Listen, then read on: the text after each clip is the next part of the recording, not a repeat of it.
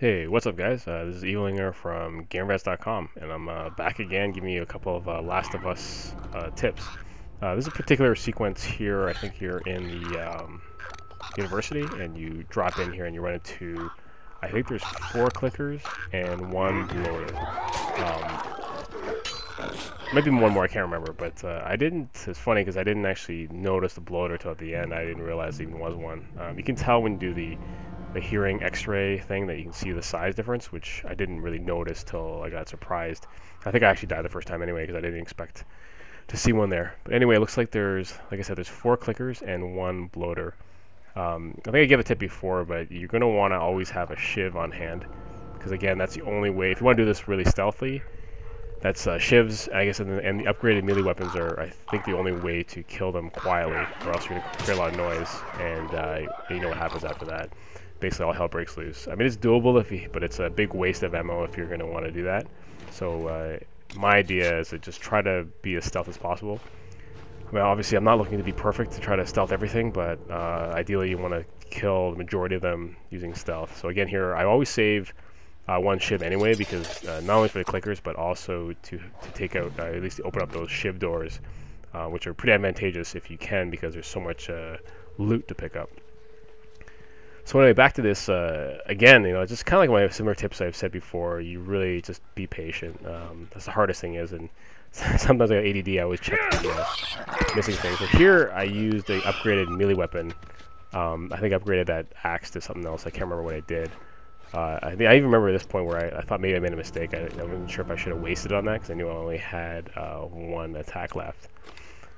But um, in this area, you're going to want to scope it out a little bit as well because there's tons of um, loot to pick up and, and uh, I guess craft items that will help you if you're even if you're missing a shiv. I think you can even find one to help build one or craft one afterwards. Um, but I think it's pretty obvious that you're going to want to take out the clickers first before you uh, take on the bloater. Um, that's just the smart way to go. And uh, here, I think I'm just trying to decide what I want to do here. Uh, you know, I think I decided to build a bomb. Uh, I figured I'd use that on the bloater because I didn't want to waste a lot of ammo. I remember my the previous attempt back at the the university. That was I used a lot of ammo there because I didn't have these kind of weapons. I think. Um, oh, actually, speaking of that, if you're good with the air bow and arrow, you probably could stealth kill a lot of them with the bow and arrow shot to the head. Um, but generally, I kind of suck at the arrow, the shooting with it, so I don't, just didn't even bother. I like sticking with the stealth using the um, a shiv from behind. Uh, I found that way more, works a lot better. Again, uh, and one thing I noticed too, if you look at uh, all the drawers you open up, you, it looks sometimes it appears that it's empty, but if you just change the angle of the view, there's actually items in there. I think I missed one, one or two previously that I opened up thinking that it was empty, but there's actually is item there. Um, I'm trying to find. I think I rendered this one somewhere here, uh, back in the room. Yeah, and also there's a few spots. There it is. See that that tape? I, I didn't need it anyway, but I, I, actually missed that the first time. And then there's the scissors here, which I didn't even see. So, as always, like if you're patient, it, you know, it comes to you. Just take your time. So, um, at this point, I think I decided to have a couple shivs, and uh, I realized that there's only one clicker and uh, one bloater left. So, uh, obviously, here I'm just going to try to stealth kill the the clicker. And uh, oh, another another tip too is use this time to uh, kind of have a game plan already. You want to figure out which weapons you want to have on hand, and then obviously you want to, guess, reload as well. So you don't want to get burned and pull it out and have realize that you never bothered reloading. So um, actually, this is the second time I watched it. The first you'll notice here, which I don't really get.